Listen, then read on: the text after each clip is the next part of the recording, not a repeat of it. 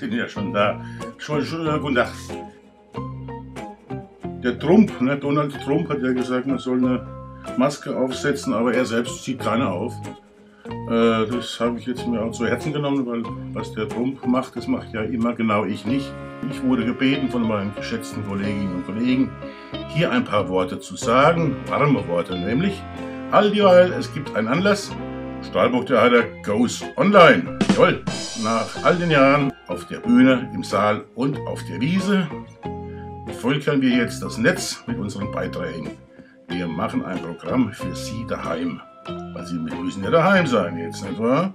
Also wir schicken das Ihnen in den Computer, auf die Handtelefone, auf Ihre, Ihre Bügeleisen, Ihre Vibratoren, Mikrowellen, all das, womit Sie da neuerdings äh, Empfang haben.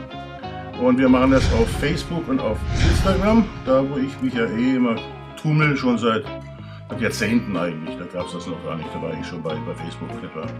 Meine Oma war ja auch Influencerin und wir machen ein buntes Zeug, ein Kesselbuntes, wie gesagt, mit ernsten Politmagazinen und äh, nicht so ernsten anderen Beiträgen und mit künstlerischen Darbietungen der Menschen, der Lieben, die bei uns sonst auf der Bühne auftreten, werden hier was zum Besten geben in den nächsten Tagen, Wochen, Jahren, Jahrzehnten. Wir machen das ja noch nach dem Virus immer noch weiter. Das ist das selbstverständlich. Etwa.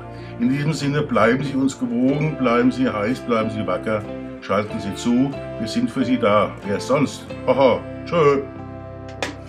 So, das war jetzt. Ah.